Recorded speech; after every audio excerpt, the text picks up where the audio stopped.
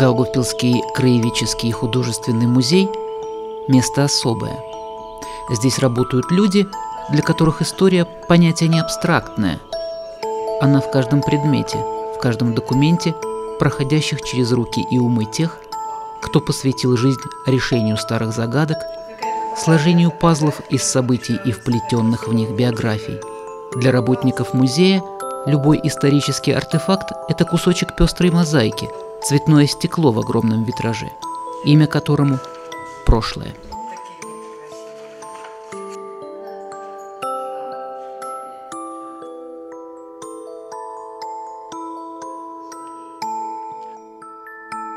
Помещалось офицерское собрание там, где ныне находится городское самоуправление. Нижний этаж был предоставлен в распоряжение Юрьевского полка, разместившего там свою канцелярию, учебную команду, нестроевую роту с мастерскими, а верхний этаж был целиком отведен под собрание. Теперешний зал заседаний был залом для танцев и других увеселений. Газета «Двинский листок» 25 июня 1900 года. Это был очень интересный период, период расцвета нашего города накануне Первой мировой войны. Это был э, крупный экономический центр, промышленность, э, торговля были развиты. Это крупнейший был железнодорожный узел, что и повлияло на развитие города. И, конечно, культурный центр – заместитель руководителя Даугупилского краеведческого и художественного музея по научной работе Людмила Желвинская, как и все сотрудники музея, имеет свою тему для изучения. В сфере ее научных интересов Двинск в составе Российской империи с 1861 года до февраля 1917 года. Зал думских заседаний был несколько длиннее и охватывал комнату, ныне отведенную под кабинет члена управы, зав. отделом соцобеспечения.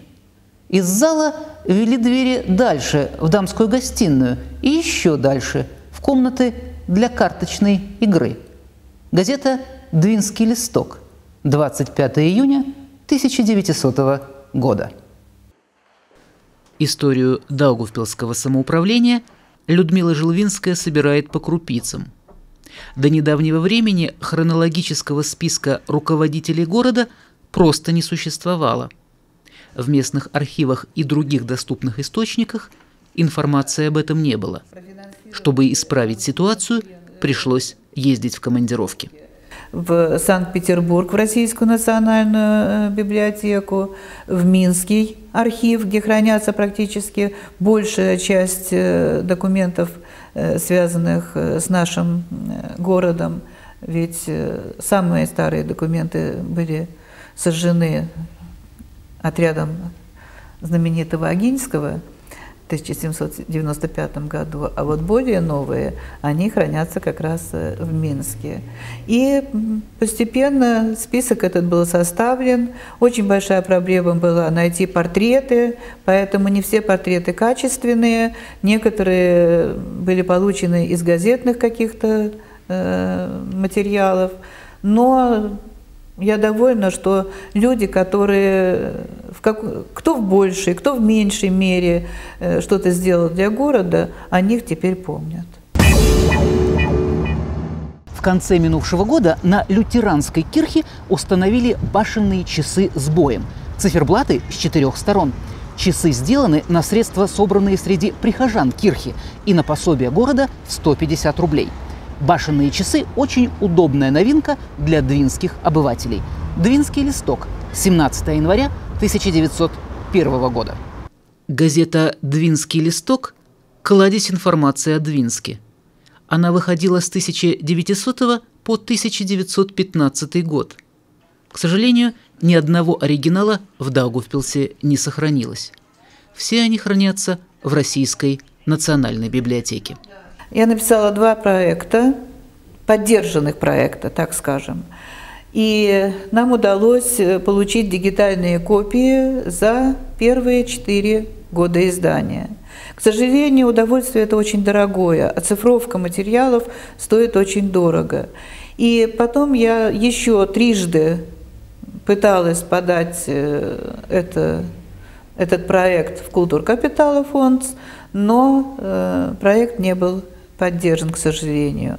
А так хотелось бы хотя бы вот это 1913 или 12 год э, полистать. Полистать я полистала в библиотеке, но было слишком мало времени, и я могла только урывками что-то э, посмотреть в этой газете. А хотелось бы ее прочитать, и тогда намного больше бы мы знали о том, как жил Двинск в начале 20 века.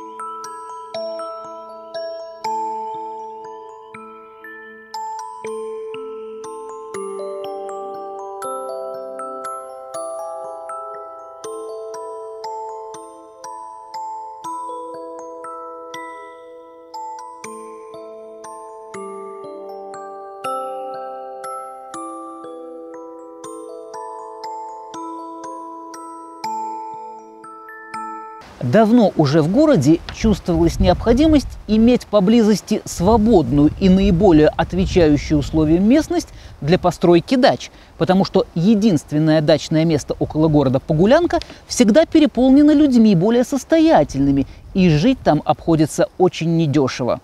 Вследствие этого в мае 1899 года городская дума по предложению городского головы Пфейфера постановила отвести желающим в потомственное пользование под постройку дач участки на берегу озера Стропы. Двинский листок. 13 января 1901 года. Когда мы решили сделать интерьерную выставку, то о стиле вопроса не было. Югенстиль или модерн, как он по-другому называется. Вопрос был другой. А какой интерьер показать? И когда мы решили делать гостиную, то взяли рояль, который у нас есть, населили эту гостиную э, хозяевами. Э, вся абсолютно обстановка из фондов нашего музея, и посуда, и часы, и барометр, то есть все. И мы хотели повторить какие-то элементы йогит-стиля, и вы видите фриз, э, который повторяет элементы розетки под, лам, под люстрой.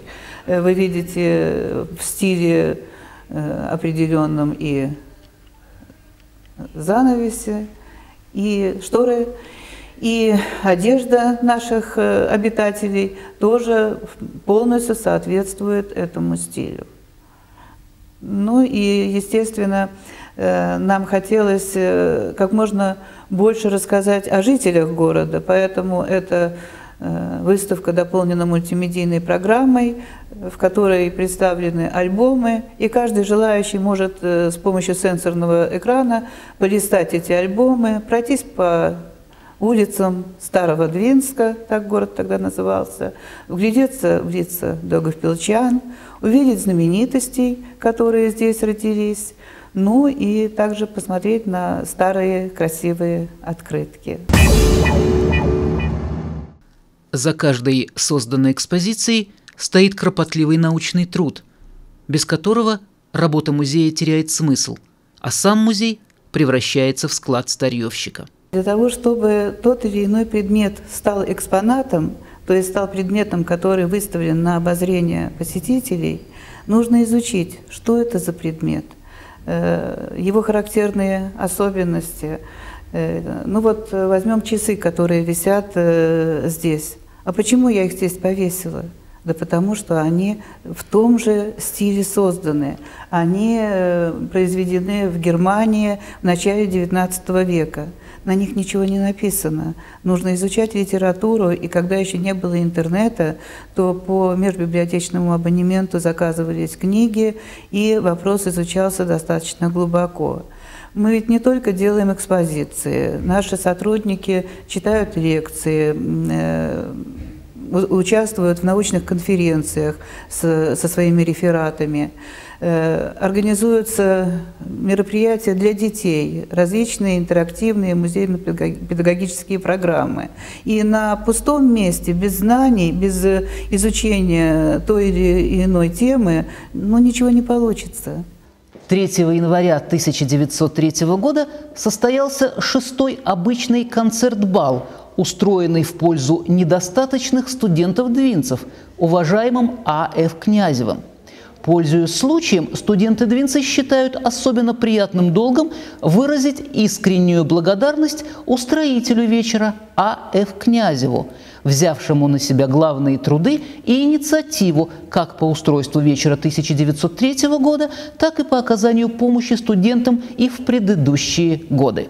Двинский листок, 11 января 1903 года. О своих учителях Людмила Желвинская вспоминает с нежностью – с нежностью и легкой грустью. На рубеже 60-70-х годов в Даугупилском педагогическом институте, который и закончила наша героиня, работала целая плеяда выдающихся преподавателей. Э, у нас э, прекрасные были педагоги. Я до сих пор с огромным уважением и пиететом вспоминаю Иола Павловича Вейнберга – который читал нам археологию, историю Древнего Востока. Это был настолько энциклопедических знаний человек, и он учил нас не только учиться, не только постигать что-то новое, он нас учил отношению к жизни. Э, не скрою, это известный факт, э, он пережил концлагерь и остался жив, за что его не очень э, поддерживали в советские времена, но это человек, который был на своем месте, он э, учил нас. И вот представьте себе, идут студентки, девчонки по, по улице Ригас, мы тогда очень много э, по этой улице гуляли, тогда это была улица Ленина, и идет профессор нам навстречу. Он кланяется, снимает шляпу в ответ на наше э, «здравствуйте». Вот да. Это, это образец интеллигента. Это о многом говорит. Это о многом говорит. Это говорит об уровне его воспитанности и вообще даже человеческих качествах. В видах достижения в успехах в работах по рисованию комиссия при Академии художеств постановила просить ходатайства Академии – во-первых, о введении в гимназиях, прогимназиях и других учебных заведениях программы, выработанной под наблюдением Академии художеств. Во-вторых, о признании рисования обязательным во всех классах гимназий и прогимназий. И в-третьих, о возможности улучшения материального положения учителей рисования и об уравнивании их с другими преподавателями. Двинский листок, 26 апреля 1900 1993 года? Жил-был художник, преподавал э, в школе прикладного искусства в Даугавпилсе. Он писал главным образом пейзажи. Пейзажи все местные, какие-то осенние, зимние, летние, весенние, разные-разные виды природы. Но все настолько теплые, настолько одухотворенные, что э, просто равнодушными на эти картины смотреть нельзя. И у нас оказалась самая большая коллекция этого художника. Кстати, в интернете тогда о нем вообще ничего не было. И вот э, Валда Мэшбарде, она описала эти работы, а я написала проект для того, чтобы привести в порядок их, для того, чтобы организовать э, юбилейную выставку к столетию его рождения. И нам это удалось. Нам удалось даже восстановить памятник на его могиле на лютеранском кладбище. И теперь, если вы наберете Карлис Мудлес э, в интернете, там появится масса материалов.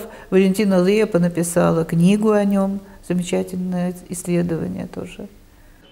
Порой кажется, что возвращать имена – жизненная задача Людмилы Желвинской. На ее столе бесконечные документы, фотографии, письма, открытки – ксерокопии старых изданий. Творческий беспорядок четко структурирован и упорядочен.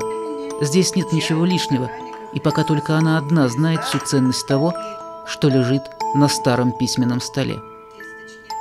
Понимает ли она, что в такие моменты творит историю? Наверное. Ведь когда решается очередной исторический ребус, и пазл событий и вплетенных в них биографий вдруг складывается, ее глаза загораются, а сердце поет. И эту песню слышно. К сожалению, поет сердце не очень часто, но если что-то удается, вот что-то я запланировала, и мне это удалось, и на душе становится светло и радостно. Э, мои близкие доставляют мне тоже много хороших, добрых минут. Когда я вижу, что они вот где-то побеспокоились за меня или э, поздравили меня с каким-то праздником, вот я могу даже заплакать, я такая чувствительная стала с возрастом. И сердце заставляет петь сознание того, что не все так в жизни и в мире плохо, как иногда об этом пишут.